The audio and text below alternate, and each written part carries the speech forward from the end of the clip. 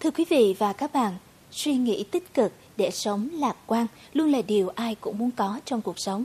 Thế nhưng, không phải ai cũng có thể chuẩn bị được một hành trang vững vàng về sự tự chủ, tự tin, vốn kiến thức, bản lĩnh để đứng vững trước những sóng gió, trở ngại của cuộc đời. Làm thế nào để luôn lạc quan, bình tĩnh, ứng xử bình thường để vượt qua biến động bất thường trong cuộc sống? Cuốn sách nhỏ mà chúng tôi giới thiệu ngày hôm nay sẽ giúp các bạn trả lời câu hỏi đó.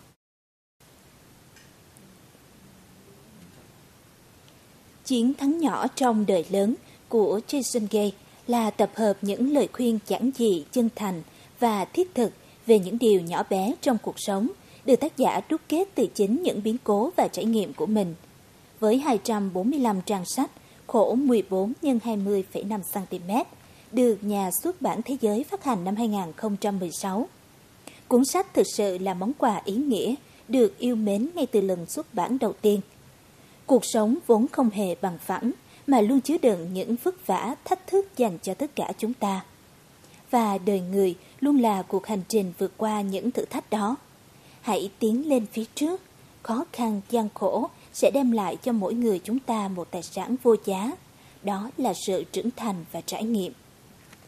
Thành công của mỗi người tùy thuộc rất lớn vào thái độ sống của người đó. Và nếu học được cách giữ cho ô cửa tâm hồn, cách nhìn cuộc đời được trong trẻo, thì tâm hồn mỗi người sẽ được bao trùm bởi sự lạc quan, niềm tin cuộc sống, sự thân ái của tình người.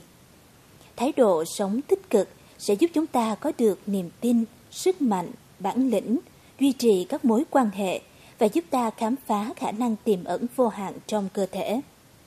Bạn có thể tìm đọc những cuốn sách truyền cảm hứng để tạo ra những thay đổi tích cực trong đời sống.